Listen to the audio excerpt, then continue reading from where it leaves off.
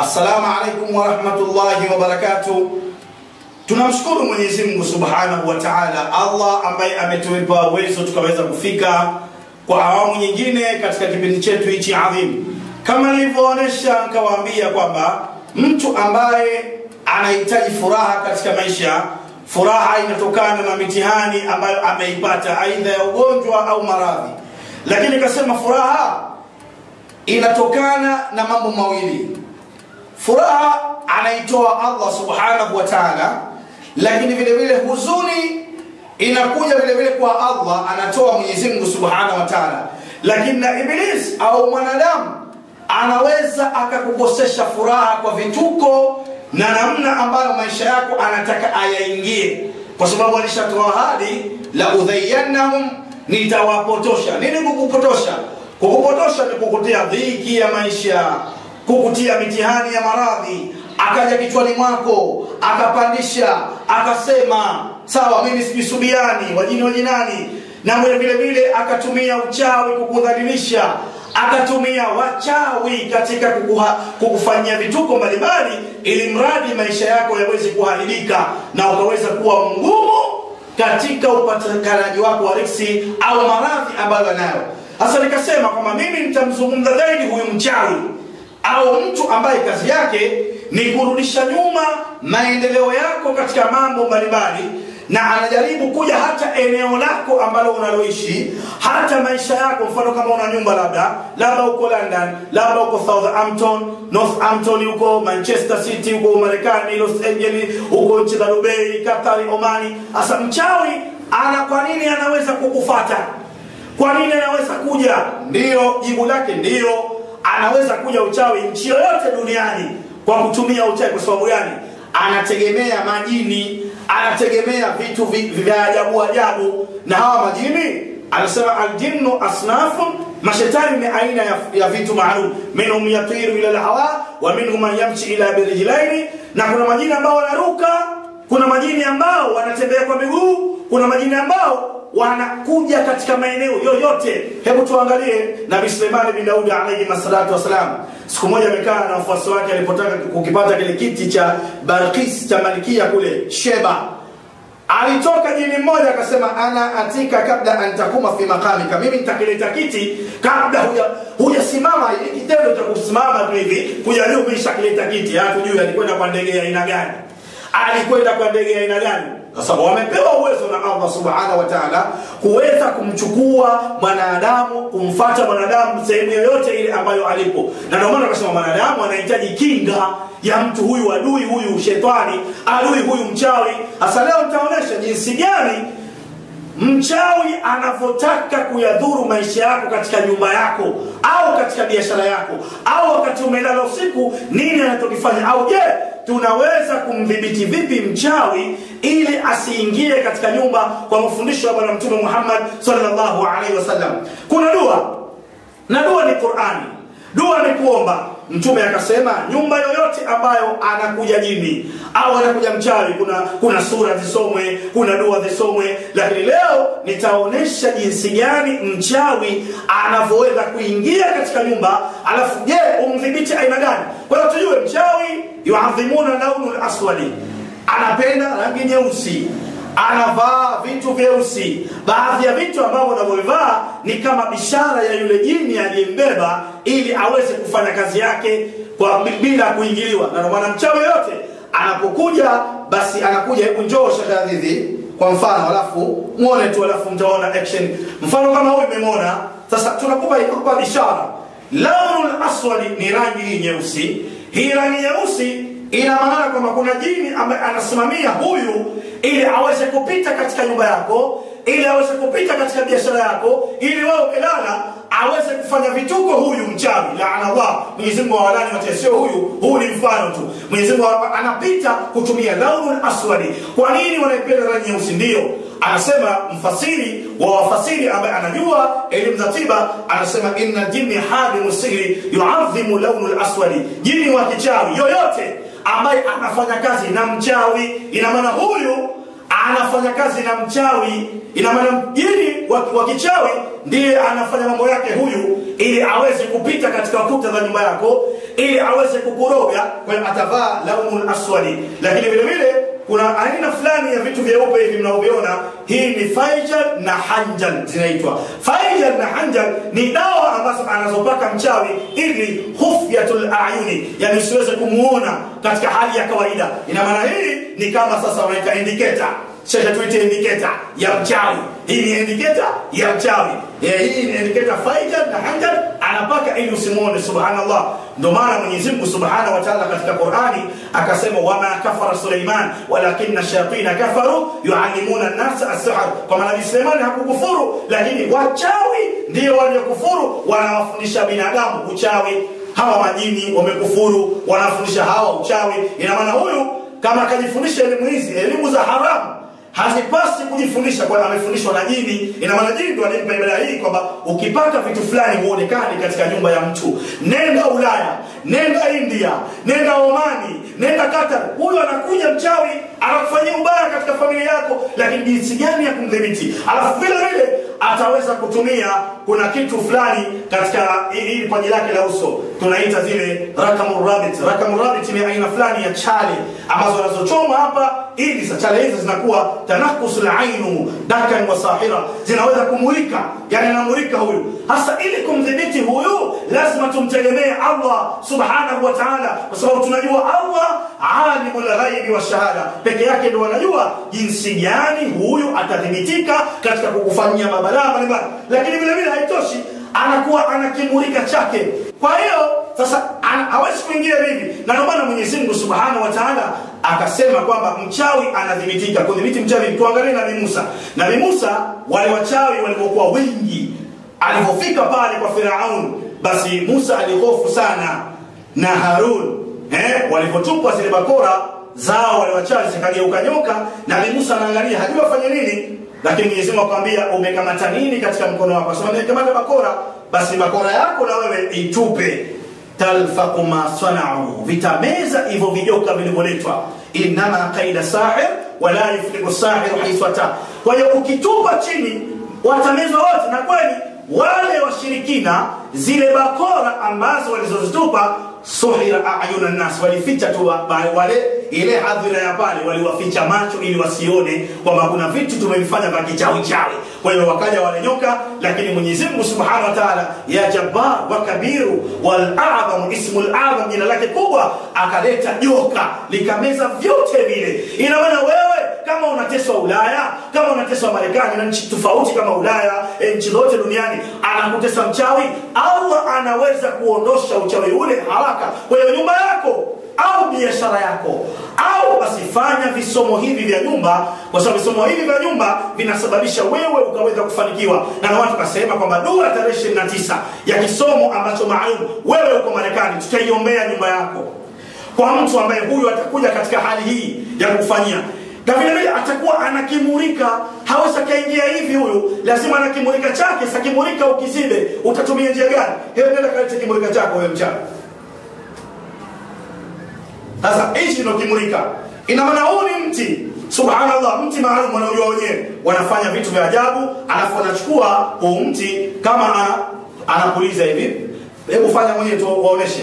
Eh?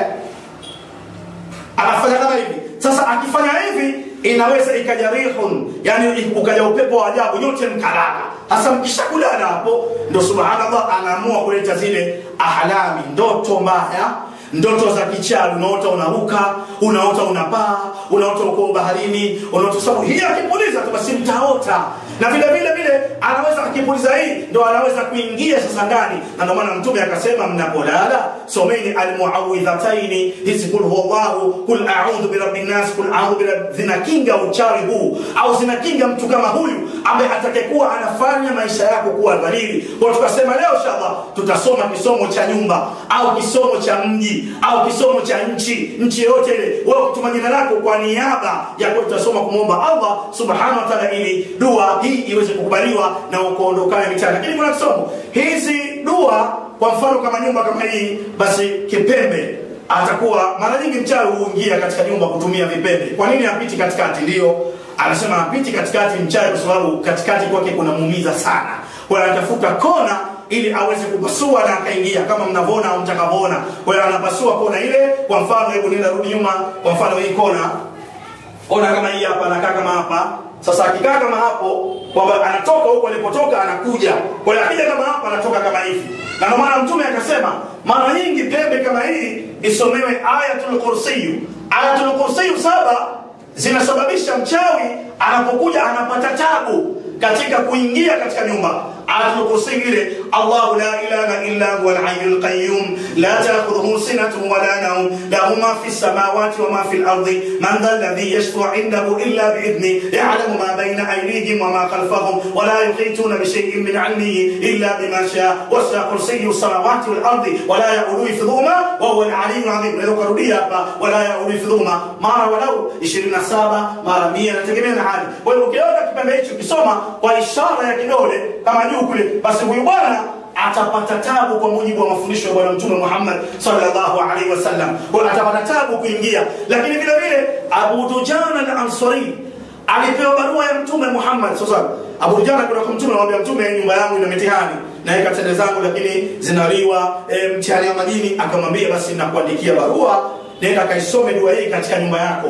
Ina maana dua hii tutaisoma leo kwa sababu tumedhamiria kuitoa nyumba yako matatizo kuondosha mitihani ambayo unayo huko Ulaya. Lakini nyumba yako iko London nyumba yako iko Uingereza huko nyumba yako iko Omani nyumba yako iko Dubai. Kwa niaba ya kisomo hichi cha tarehe 29 basi wallahi alazim tutasoma dua kwa niaba Mwenyezi Mungu akuondoshe dua ya Abu Dujana al-Ansari ile dua barua mtume Muhammad sallallahu alaihi wasallam innahu min Muhammadin sallallahu alaihi wasallam رسول رب العالمين. إلى من ترك الدار من العمار والزوال. إلا تاركا يترك بخير أما بعد فإن لنا ولكم في الحق ساعة فإن تكوا عاشقا موليا فاجرا مختبرا مبضرا فهذا كتاب الله ينطق علينا وعليكم بالحق اتركوا صائب قراءة هذا وانطلقوا إلى عبادة الأصنام وإلى من يزور أنما إله آخر لا إله إلا هو له الملك وإليه ترجعون. حاميم لا يبصرون حاميم عين سنقاف تغلبون حاميم الكتاب المبين. تفرق أعداء الله وبلغت حجة الله wabalaghat hujjatillah wala haula wala quwwata illa hii ni dua ambayo bwana mtume aliandika mkononi mwake akamwambia Abu Dujan al-Ansari nenda kasome katika nyumba hili na kweli alipokwenda kusoma basi yule jini aliungua. Kwa hiyo na wewe tunaunguza uchawi wote ambao uliofanyiwa dunia nzima. Uchawi wote uliofanyiwa London UK Canada Australia Sweden eh, Botswana Namibia South Africa eh, Burundi Tanzania Kenya nchi zote kumwomba Allah subhanahu wa ta'ala. Leo mtaona na dua inaposoma mtaona jinsi yale yule mchawi atakavyokuwa anahangaika. Kwa tazameni video hii kuangalia na hizi dua na wallahi alazim visomo hivi hata nyumbani kwako tutafika lakini tukasema kwa mtu ambaye yuko Ulaya nyumba yake iko Ulaya tutatuma mabomu kabisa ili aweze kuondokana na mtihani katika siku ambayo anafuatia. angalia sasa dua inapokwenda.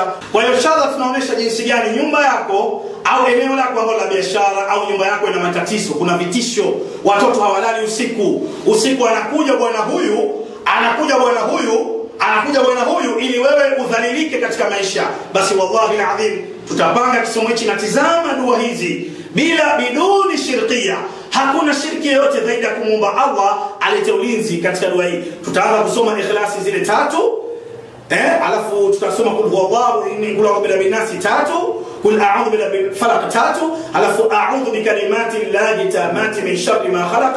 سابا افتان ايات الكرسي ما دو بسم الله الرحمن الرحيم. وتنسى كده كده؟ نيوما جو بسم الله الرحمن الرحيم. قل هو الله أحد الله الصمد لم يلد ولم يولد ولم يكن له كفوا أحد. بسم الله الرحمن الرحيم. قل هو الله أحد الله الصمد لم يلد ولم يولد ولم يكن له كفوا أحد. بسم الله الرحمن الرحيم. قل هو الله أحد الله الصمد لم يلد ولم يولد ولم يكن له كفوا أحد. بسم الله الرحمن الرحيم. قل أعوذ برب الناس مالك الناس إله الناس من شر الوسواس الخناس الذي يوسوس في صدور الناس من والناس بسم الله الرحمن الرحيم. قل أعوذ برب الناس مالك الناس لا إله من شر الوسواس الخناس الذي يوسوس في صدور الناس من الجنة والناس. بسم الله الرحمن الرحيم. قل أعوذ برب الناس مالك الناس لا إله من شر الوسواس الخناس الذي يوسوس في الناس من الجنات والناس. بسم الله الرحمن الرحيم. قل أعوذ برب الفلق من شر ما خلق وشر غاسق اذا وقب ومن شر في العقد ومن شر حاسد اذا بسم الله الرحمن الرحيم. قل أعوذ برب الفلق من شر ما خلق ومن شر غاسق اذا وقب ومن شر في العقد ومن شر حاسد. اذا بسم الله الرحمن الرحيم. قل اعوذ برب الفلق من شر ما خلق ومن شر غاسق اذا وقب ومن شر النفاثات في العقد ومن شر حاسد اذا اعوذ بكلمات الله التامات من شر ما خلق اعوذ بكلمات الله التامات من شر ما خلق اعوذ بكلمات الله التامات من شر ما خلق اعوذ بكلمات الله التامات من شر ما خلق اعوذ بكلمات الله التامات من شر ما خلق اعوذ بكلمات الله التامات من شر ما خلق sasa tunakwenda kuangalia mfano kipembe cha hichi mfano Sheikh Yusuf njoo kipembe hichi ambacho tunatakiwa kisome ayatul kursi saba kwa utasoma unanyosha kidole juu kusoma ayatul kursi saba bismillahir rahmanir rahim Allahu la ilaha illa huwal hayyul qayyum. La ta'khudhuhu sinatun wa la nawm lahu ma fis samawati wa ma fil ardi. Man dhal ladhi yashfa'u 'indahu illa bi idhnihi ya'lamu ma bayna aydihim wa ma khalfahum. Wa la yuhituna bi shay'in min 'ilmihi illa bima sha'a. Wa sa'a kursiyyu samawati wal ardi. Wa la ya'uduhu hifdhuhuma wa huwa al-'aliyyul 'azim la ilaha illa huwal hayyul qayyum la ta'khudhuhu sinatun wa la nawm lahu ma fis samawati wa ma fil ardi man dhal ladhi yashfa'u 'indahu illa bi idhnihi ya'lamu ma bayna aydihim wa ma khalfahum wa la yuhituna bi shay'in min 'ilmihi illa bima sha'a wa sa'a kursiyyu samawati wal ardi wa la ya'uduhu hifdhuhuma wa huwa al-'aliyyul 'azim wa la ya'uduhu hifdhuhuma wa huwa al-'aliyyul 'azim wa la ya'uduhu hifdhuhuma wa huwa al-'aliyyul 'azim Allahu la ilaha illa huwal hayyul qayyum la ta'khudhuhu sinatun wa la nawm lahu ma fis samawati wa ma fil ardi man dhal ladhi yashfa'u 'indahu illa bi idhnihi ya'lamu ma bayna aydihim wa ma khalfahum wa la yuhituna bi shay'in min 'ilmihi illa bima sha'a wa sa'a kursiyyu samawati wal ardi wa la ya'uduhu hifdhuhuma wa huwa al-'aliyyul 'azim Tunakwenda katika kipembe chingine cha pili. So nyumba yote itakuwa ina vipembe vinne. Ina maana vipembe vinne kwa maana kusudia kona nne. Kwa unakwenda katika kona nyingine, soma nyingine. Kwa kona Bismillahir Rahmanir Rahim. Allahu la ilaha illa huwal hayyul qayyum. La ta'khudhuhu sinatun wa la nawm. Lahu ma fis samawati wa ma fil ardi. Man dhal ladhi yashfa'u 'indahu illa bi idhnihi. Ya'lamu ma bayna aydihim wa ma khalfahum. Wa la yuhituna bi shay'in min 'ilmihi illa bima sha'a. Wa sa'a kursiyyu samawati wal ardi. Wa la hifdhuhuma wa huwa al-'aliyyul 'azim. الله لا اله الا هو الحي القيوم لا تاخذه سنه ولا نوم له ما في السماوات وما في الأرض من ذا الذي يشفع عنده الا باذنه يعلم ما بين ايديهم وما خلفهم ولا يحيطون بشيء من علمه الا ما شاء وسع كرسي السماوات والارض ولا يؤوده ما هو العلي العظيم unatoka katika kipembe chingine ina maana lazima upate vipembe vinne ina maana kwenda katika kipembe chingine hichi hapa cha tatu kipembe cha tatu ni hichi unaashiria kunyosha kidole kusoma ayatul kursi saba hizi nimezingatisha tu tatu kutokana na muda tubaki zinakuwa saba walau saba bismillahir rahmanir rahim الله لا اله الا هو الحي القيوم لا تاخذه سنه ولا نوم له ما في السماوات وما في الارض من ذا الذي يشفع عنده الا باذنه يعلم ما بين عندي وما فوق ولا يمكن كل شيء من عند الله ما شاء. وسع كرسي السماوات والأرض. ولا يحيطه ولا الأرض. Inatosha kutokana na مودا tunakwenda على kipembe cha mwisho kitakuwa ni mfano wa كيبو هابا kipo عن الكرسي ayatul تسابا vile vile تسابع سبحانه وتعالى بسم الله الرحمن الرحيم الله لا اله الا هو الحي القيوم لا تاخذ سنه ولا نعود له ما في السماوات وما في الأرض من ذا الذي يشفع عنده الا باذنه يعلم ما بين العلم وما ولا يحيطون بشيء من علمه الا ما شاء وسع كرسي السماوات والارض ولا sasa unakuja katikati katika ile nyumba au lile duka au yale maeneo maalum. Mbali baada ya kisoma yake hii inakuwa namba moja afu inafuata kisoma chake cha chini. Unaosha kidole juu katika katikati ya ile nyumba iwe ukumbini au sehemu yoyote ile awe dukani au chumbani kwako wewe mwenyewe chumba chako utanyosha kidole juu utasoma ayatul kursi saba bismillahir rahmanir rahim allah la ilaha illa huwa al-hayyul qayyum la ta'khudhuhu sinatun wa la nawm lahu ma fis samawati wa ma fil ardi man dha alladhi yashfa'u 'indahu illa bi idhnihi ya'lamu ma bayna aydihim wa ma khalfahum wa la yuhituna bi shay'in min 'ilmihi illa ma sha'a wa sa'a kursiyyu samawati wal ardi la yaqumu ma wala sasa hapo baada ya kumaliza dua hii unaweza kusoma ile barua ya mtume sasa katikati ya nyumba lakini jitahidi uwe na sauti kubwa kwa sababu ile barua itambaye katika ile nyumba au katika ile duka au katika ile mazingira ya ule mzimu. Pengine kuna nyumba nyingine zinakuwa zina mizimu. Ule mzimu sauti aisikie jini. Sauti aisikie yule mchawi ambaye kambeba yule jini aingie naye. Kwa fosi usiku wa manane katika nyumba yako kukutesa unamwangamiza ule adui. Unaweza kusoma kwa mfano sauti yangu. Angalia sauti yangu. Bismillahir rahim إنه من محمد صلى الله عليه وسلم. رسول رب العالمين. إلى من ترك الدار من العمار والزواج إلا طارقا يترك بخير. أما بعد فإن لنا ولكم في الحق ساعة. فإن تكوا عاشقا موليا فاجرا مغتمرا مبضلا فهذا كتاب الله ينطق علينا. علينا وعليكم بالحق اتركوا صائب قراءة هذا وانطلقوا إلى عبادة الأصنام وإلى من يزور أنما إلى أن آخر. لا إله إلا هو. لكل منكو وإليك ترجعون. حامين لا ينصرون. حامين عن سن كاف تفرق أعداء الله وبلغ حجة الله. ولا حول ولا قوة إلا بالله. العلي العظيم. Unaweza ukairudia kwa sauti kubwa walau mara saba. Basi wallahi ladhim yule mchawi ataweza kutetemeka au yule jini ataweza kutetemeka kama yumo ndani ya ile nyumba amekalia mali amekalia watoto amekalia biashara amekalia maeneo maalum. Basi kwa sauti hii ya barua hii ya mtume ataweza kudhanika alafu baadaye sasa ndo mnakaa chini. Maana kisomo hicho cha kusimama cha namba moja. Ina maana baadaye mnakaa chini mnazipangia sura za kusoma, kwa mfano suratu Swafati, suratu Zumar, suratu Lhashri, إيه إذا وقعت الواقية ليس لوقعتها قاذبة حافظة رافية ألف سورة البقرة يوتي ولسوما سورة الكافي يوتي سورة التوبة سورة النمل إيه سورة سورة zile unasoma zile sura alafu baadaye unasoma dua dafi albalai dua ya kuondosha balaa katika ile nyumba. Kwa hiyo ni pati tuko tunasema inshallah biidhnillahi tabaraka taala hatuwezi kumaliza mambo yote kutokana na muda na hali lakini tunakwambia wallahi ladhim huyu mchawi anathibitika. Na ukisoma dua hii utaona jinsi gani mchawi anavyodhalilika na kudondoka anashindwa kupita katika ile nyumba. Sharti la dua hii msomaji dua awe anayakini na takwa Allah. Na yule anayesomewa dua yani ile nyumba. Lazima kuwe kuna mazingira ya dini. Unaweza ukafanya visomo vya majumba ukasomewa na visomo tofauti lakini kumbe mchawi akapita sababu anajua wale wale katika ile nyumba hawana imani hawana swala hebu niambie hamswali kutwa mnaweka muziki bongo flavor kutwa mnafanya zinaa alafu mnamwita mtu shekhe aisomee dua nyumba ile mna mchawi anaingia. Hata amalize msahafu wallahi ladhim jini ataingia mchawi atapita. Na kuna nyumba nyingine anapita kwa sababu anajua nyumba zile dhaifu. Kwa hiyo majumba yetu tuyakinge. Biashara zetu tuzikinge kwa allah tufanye visomo vya nyumbani na tukasema kama mtu yupo ulaya dunia nzima. Ajiandikishe kwenye kisomo hichi tutasoma kisomo hichi kwa niaba yake kama yuko nchi tofauti duniani ili mwenyezi mungu subhanahu wa taala aweze kumsaidia. Sawa katika chaneli yetu namba zetu za whatsapp zinapita katika visomo mbalimbali. Tunasoma visomo katika majumba visomo vya mtu kumwondosha kafara. So tunajua allah subhanahu wa taala ndio anatupa uwezo huu. Wassalamu alaikum warahmatullahi wabarakatuh